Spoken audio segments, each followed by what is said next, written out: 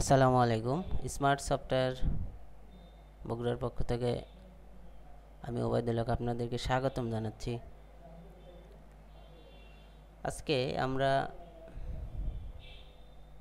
HTML এর heading নিয়ে একটু আলোচনা করব। আপনারা সাথে থাকুন। আমরা গত টিউটোরিয়ালে দেখেছিলাম এইচটিএমএল এর সাথে জাভাস্ক্রিপ্টের ব্যবহার কীভাবে করা হয়। তার একটা বেসিক আমরা কনসেপ্ট পেয়েছিলাম। তো আজকে এইচটিএমএল একটা, এটা একটা অনেক গুরুত্বপূর্ণ পার্ট এইচটিএমএল হেডিং হেডিংয়ে মূলত হেডিংয়ের যদি আমরা চিন্তা করি, মানুষের বডির সাথে হেডিংয়ের সম্পর্কটা কী? আমাদের মাথা কি করে? সমস্ত থিঙ্কিং যে বিষয়গুলো, চিন্তা যে বিষয়গুলো, সেটা আমাদের মাথা করে থাকে। তো ওয়েবের ক্ষেত্রেও হেড সেকশনে যত লজিক্যাল ফাংশনগুলো থাকবে, সিএসএস জাভা স্ক্রিপ্ট তারপর মেটা, কিওয়ার্ড, এই যে বিষয়গুলো, এগুলো সব হেড সেকশনে থাকবে। তো এই বিষয়টা আমরা একটু দেখি সুন্দর করে জানার চেষ্টা করব। আমরা চলে যাচ্ছি সাবলাইম টেক্সটে এটা আমাদের গত দিনের প্রজেক্ট ছিল। আমরা একটু দেখে নেই ব্রাউজারে এইটা অ্যালার্ট ছিল জাভা স্ক্রিপ্ট অ্যালার্ট এই টেক্সটটাও কিন্তু আমরা জাভা স্ক্রিপ্ট দিয়ে ডিসপ্লে করছি। আর এটা চেঞ্জিং এইচটিএমএল ক্লিক করলে চেঞ্জ হবে। দেখুন চেঞ্জ টেক্সট আমরা আর একবার রিলোড দিচ্ছি first HTML text change HTML ঠিক আছে, এইটা নিয়ে আমরা আজকে কাজ করছি না। তো আমরা এগুলোকে ডিলিট করে দিচ্ছি। আমি আপনাদের জন্য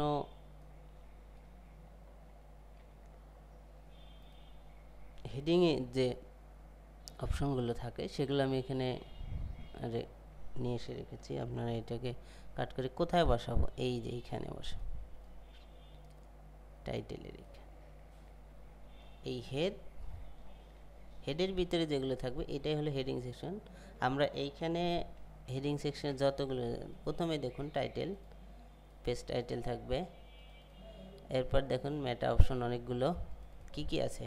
একটু দেখে নেই। ক্যারেক্টার সেট এটা দেখুন ইউটিএফ এইট তো এইটা কেন দেওয়া হয়? আমি একটু আপনাদেরকে দেখাচ্ছি। এইখানে সাপোজ ধরুন বাংলা লিখছি।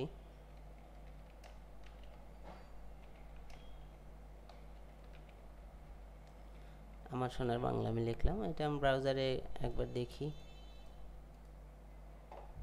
ঠিক আছে।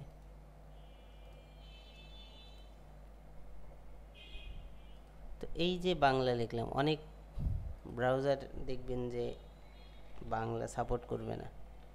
সেক্ষেত্রে আপনাকে এই ম্যাটা ক্যারেক্টার সেট এই ইউটিউব এটা দিয়ে দিতে হবে, ঠিক আছে? আচ্ছা এরপরে মেটানেম ভিউপোর্ট এটা ওয়েবসাইটের জন্য রেসপন্সিভ ওয়েবসাইটের জন্য দরকার হবে। আপনারা এটা দিবেন, যারা রেসপন্সিভ ওয়েবসাইট তৈরি করবেন, যারা করবেন না তারাও দিবেন। এরপরে আছে মেটানেম অথর মানে এই ওয়েবসাইটের মালিকানা কার? এখানে দেওয়া আছে স্মার্ট সফটওয়্যার আপনি আপনার প্রতিষ্ঠানের নাম দিবেন বা আপনার নিজের নাম দিতে পারেন।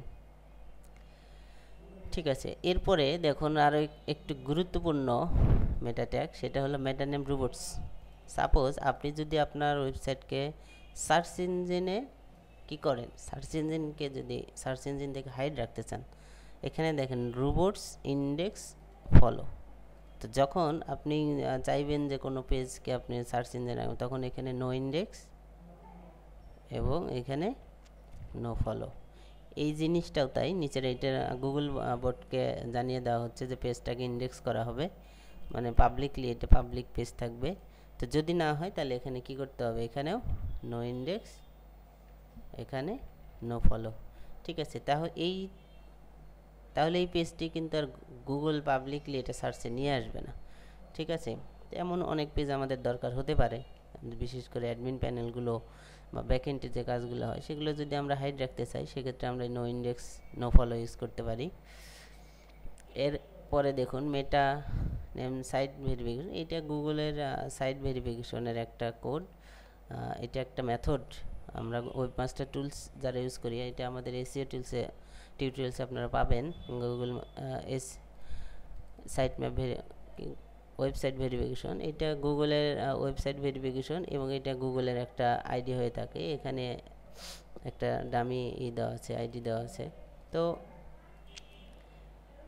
এই হলো ব্যাপার। এখন এগুলো আপনাদেরকে জানতে হবে। দেখুন, এখানে আরও আছে এটা এইচ টিটিপি এখানে আপনার এই কিওয়ার্ডটা আমরা ইউজ করব ইন্টারনেট এক্সপ্লোরারের জন্য। এখানে আই ইডিজি এটা মাইক্রোসফটের নতুন ব্রাউজার ইডিজি ফাইন এরপরে দেখুন মেটানেম কিওয়ার্ড আছে, আপনি, আপনার ওয়েবসাইটটিকে কোন কিওয়ার্ড দিয়ে গুগলে বা সার্চ ইঞ্জিনগুলোতে সামনে আনতে চাচ্ছেন, এটা এখন এখানে দিয়ে দিতে পারবেন। এই যে মেটা নেম কিওয়ার্ড এরপরে কন্টেন্ট এখানে আপনি প্রতিটা কিওয়ার্ডকে কমা দিয়ে আলাদা আলাদা করে দিবেন।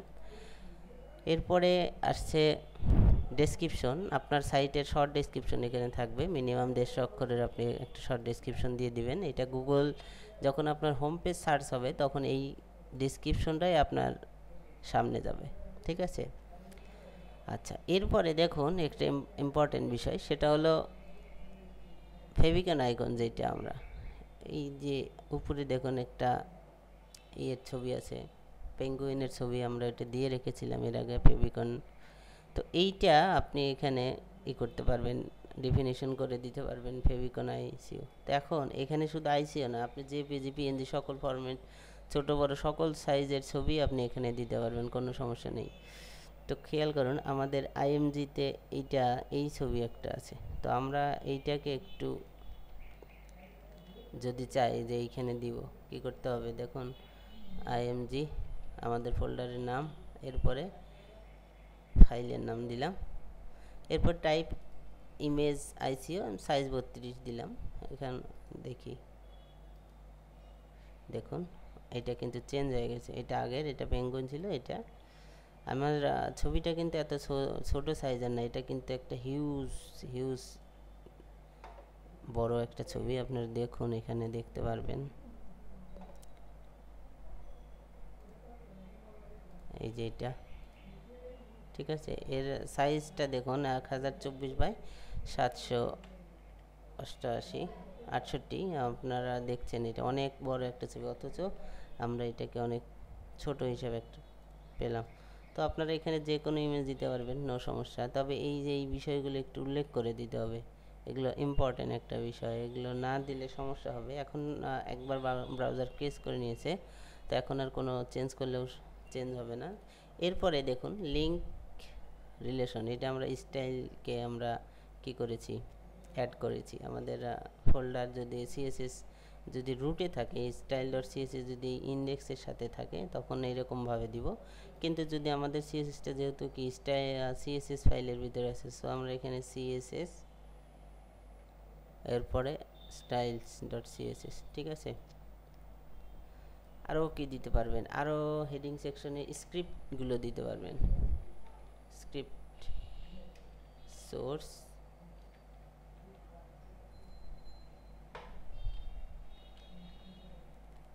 আমাদের দেখি জেএস এ ফাংশন ডট জেএস নামে জেএস ফাংশন ডট জেএস ঠিক আছে? এই হলো হেড হেড সেকশনের কাজ। তো আপনারা আশা করছি বুঝতে পারছেন। যদি বুঝতে না পারেন আমাদেরকে অবশ্যই জানাবেন। আমরা সেটা সলভ করার চেষ্টা করব।